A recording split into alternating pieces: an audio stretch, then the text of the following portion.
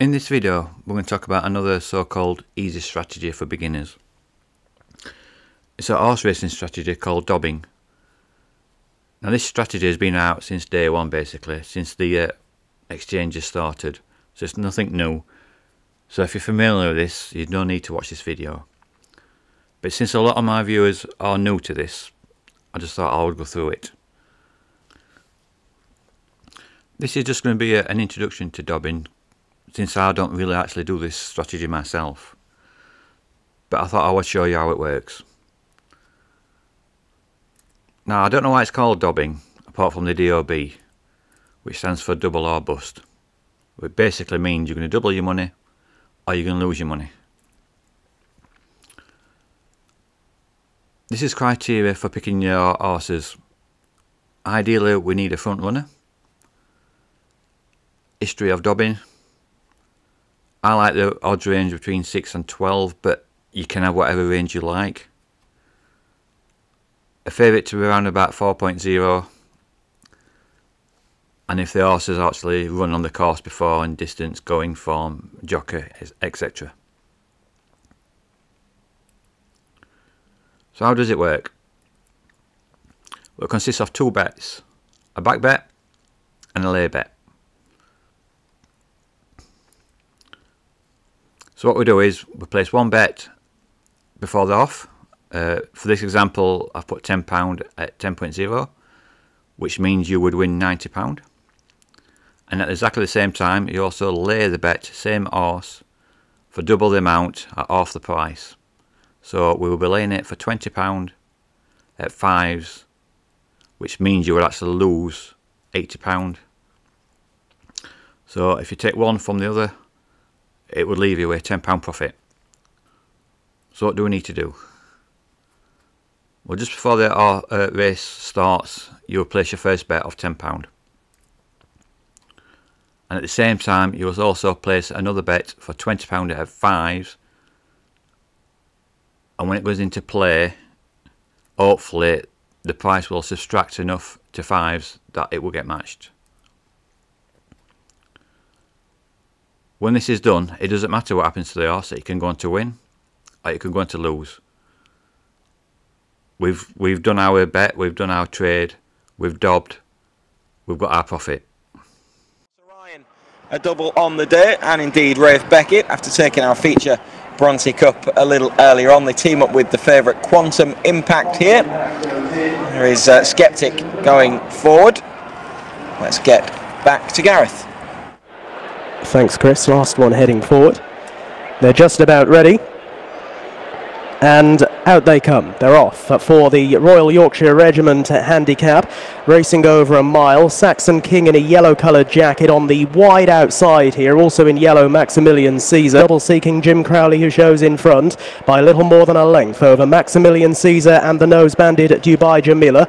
With more towards the near side. Quantum Impact now coming closer together with Ray. Spirit Alters on the wide outside and now being ridden along. With a patient ride at this stage. Feel the need is trying to creep a bit closer with Theme Park. Park. And over on the far side, Meta Horse with Skeptic. Inside so obviously the most important thing with this strategy is picking the horse in the first place. So how do we do that? So what I do, I go to uh, at the races, or you can use any other of the uh, racing sites, and most of them will give you what we call pace. So you got your race card, you got your predictor, and there's a section called pace. So on the right hand side, it will give you a pace description of how it's run in the past. For instance, this one at the bottom, number 12, as you can see there, it's got a ranking of 9.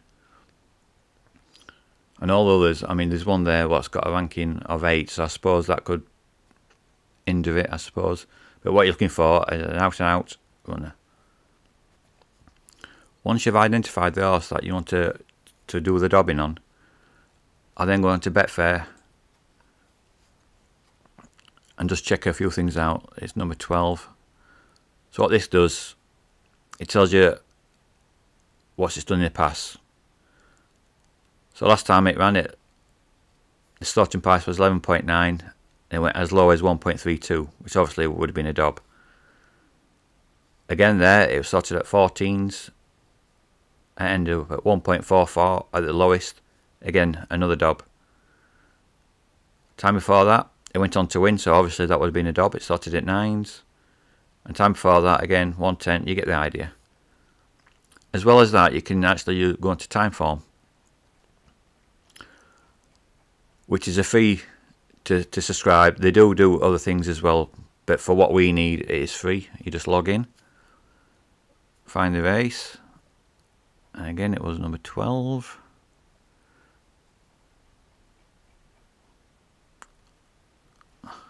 I'm actually on the wrong one. Find the race. Uh,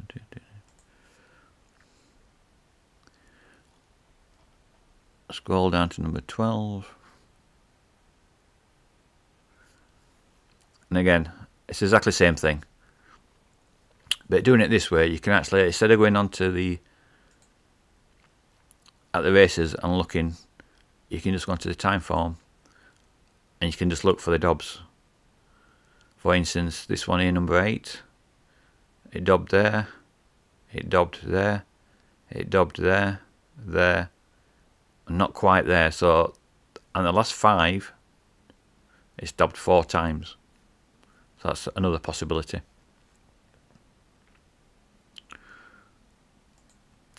I'm recording this in the morning so at the moment you wouldn't do this. You would only place the bet literally one minute before the off and the layback back at exactly the same time I'll probably record this race later on and add it to the video just to see how it gets on.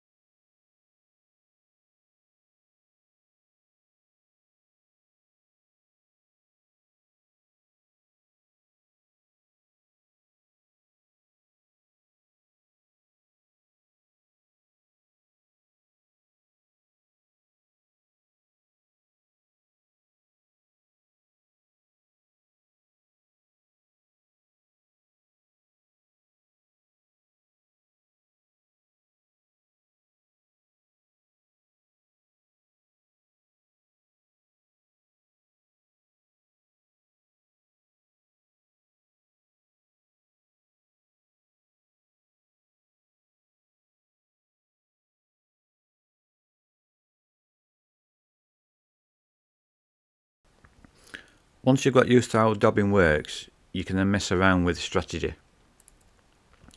For instance, instead of having a full dob, like I've shown you, you can do a half dob.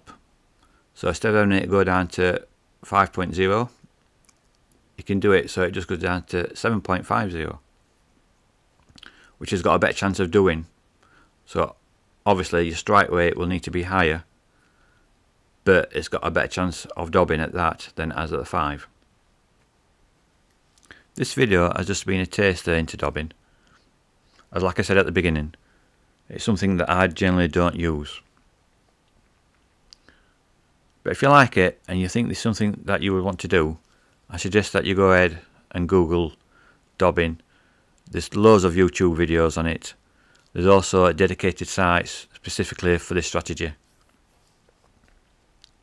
If you would like me to do a more in-depth one on this, I can do, just let me know in the comments. Thanks for watching and I'll see you in the next video.